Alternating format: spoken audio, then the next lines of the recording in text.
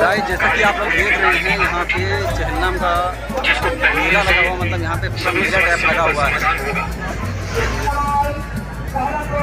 जल्दी चलो। बाट जरा बाट टिकट बाट जरा बाट टिकट है टिकट बाट टिकट टिकट बाट टिकट।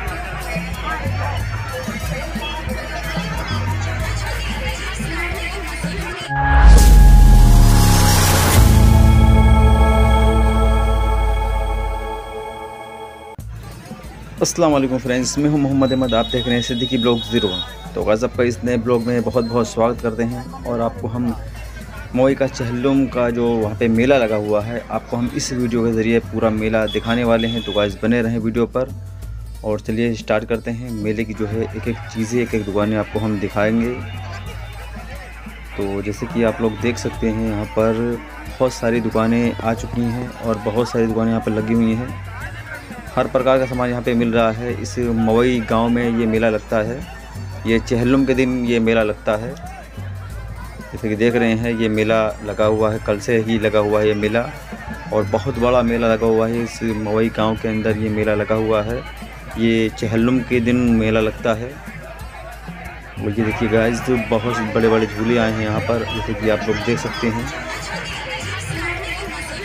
पर ये गोल वाला झूला है और नाव वाला झूला भी है। ये सामने अंदर डांसिंग वाला जो आता है, वो भी यहाँ पे मौजूद है।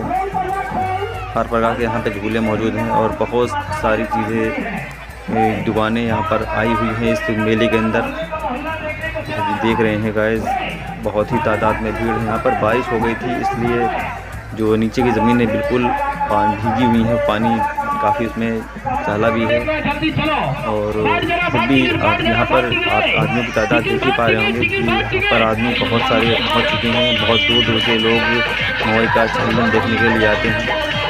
ये मवई का चहलम काफ़ी मशहूर चहलम माना जाता है। यहाँ पे बहुत ही बड़ा मेला लगता है और यहाँ पर काफ़ी तादाद में लोग दूर दूर से आते हैं ताजिया देखने के लिए और यहाँ पर रात में उन्नीस बीस तारीख की रात में ताजिया रखी जाती है और इक्कीस तारीख को ताजिया दफन कर दी जाती है। तो आज इक्कीस तारीख का दिन है, ये लास्ट डे है। आज के दिन ताजिया दफन हो रही हैं और अभी हम आपको इस मेला देखिए मेला दिखाएँगे। उसके बाद आगे ले जाएँगे। तो ये जैसे कि देख रहे होंगे आप।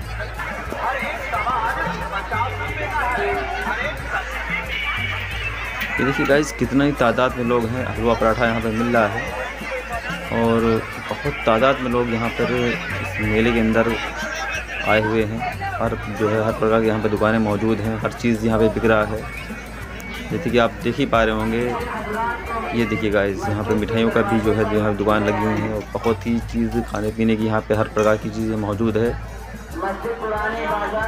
और बहुत ही अच्छा लग रहा है इस मेले को देखते हुए, क्योंकि मैं फ़र्स्ट टाइम पहली बार इस मेले में आया हूँ। ये मेरे रतौली से तकरीबन 20 किलोमीटर की दूरी पर ये मेला लगता है। ये मवई चौराहा गाँव जो गाँव है, चौराहे से तकरीबन पाँच किलोमीटर दूर ये गाँव है और इसी गाँव के अंदर, मवई गाँव के अंदर ये मेला लगता है। ये चहलम के दिन ये मेला लगता है। तो जैसा कि आप लोग देख रहे हैं, यहाँ पे चहलम का मेला लगा हुआ मतलब यहाँ पे पूरा मेला टाइप लगा हुआ है। जैसे कि देख ही सकते हैं। एक हिसाब से पूरा यहाँ पर मेला लगा हुआ है चहलम का। जैसे दिखाते रहेंगे आपको, हम पूरी चीज़, एक एक चीज़ बारीकी से हम आपको बताते रहेंगे, हमारे साथ बने रहे। ये देखिए गाइस यहाँ पर हर प्रकार की दुकानें मौजूद हैं, खाने पीने की, और हर चीज़ यहाँ पे मौजूद है। झूला भी है बच्चों के लिए, हर चीज़ यहाँ पे मौजूद है। इस वीडियो के ज़रिए आप देख सकते हैं।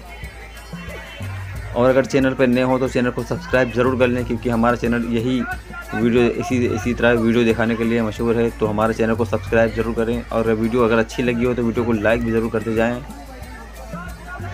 ये देखिए गाइज़ कितनी ऊपर ये झूले ऊपर भी लगे हुए हैं, सीढ़ियों के ज़रिए ऊपर आए हम और यहाँ पर देखिए यहाँ पर झूले लगे हुए हैं। ये मिकी माउस का झूला है, बाकी और जंपिंग झूले हैं, और बहुत कुछ यहाँ पर मौजूद है। ये देखिए गाइस ये रुमाली रोटी और कबाब बिक रहा है यहाँ पर और हमें भूख लगी है। तो गाइस जैसे कि हमें भूख लग चुकी है तो हम यहाँ पर आए हैं राजे खाने के लिए। ये देखिए बहुत ही ज़्यादा भूख लगी है हम आपको दिखाएँगे क्या खाने वाले हैं आने वाला है। चलिए गाइस नाइट हो रही है हमें यहाँ से निकलना है क्योंकि हमें 20 किलोमीटर दूर जाना है रजौली की तरफ़। तो इसलिए हम बस अब निकलते हैं इस मेले को अलविदा कहते हुए। अगर वीडियो अच्छी लगी हो तो वीडियो को लाइक और चैनल को सब्सक्राइब ज़रूर करें। मिलते हैं नेक्स्ट वीडियो में। तब तक के लिए अल्लाह हाफिज़। Bye bye. जय हिंद। वंदे मातरम। सब बच्चों